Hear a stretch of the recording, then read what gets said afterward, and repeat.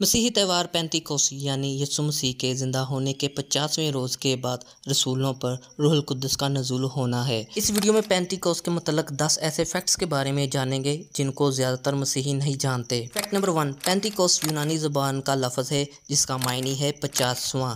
Fact number two Pentecost अतवार इस दिन की निशानदेही करता है, जब रूहुल कुद्दस रसूलों पर आग की मानद नाजल हुआ था। Fact number three Pentecost Easter के पचासवें दिन बाद होता है। फैक्ट नंबर फोर, पेंतिकोस के मुतलक नए अहद अहदनाम की किताब अमाल दूसरे बाब में दर्ज है। फैक्ट नंबर फाइव, पेंतिकोस यसु मसीह के मराज के दस दिन बाद आता है।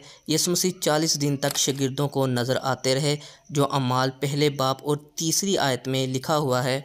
फैक्ट नंबर सिक्स, पेंतिकोस कलीसिया की सालगिरह के दिन के नाम से भी जाना जाता है, क्योंकि इस दिन बहुत से लोग मसीह में आए।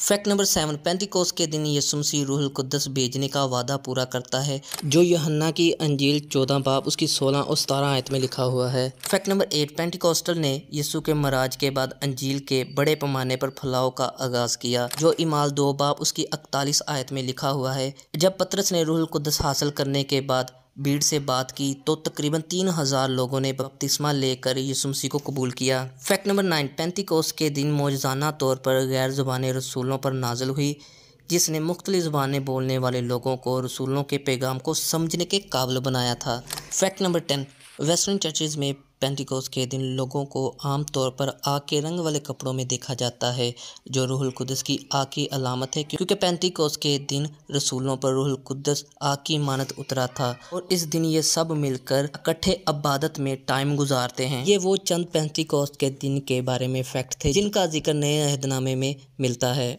ऐसी और मसीही वीडियो देखने के लिए आप हमारे यूट्यूब चैनल को ज़रूर सब्सक्राइब करें।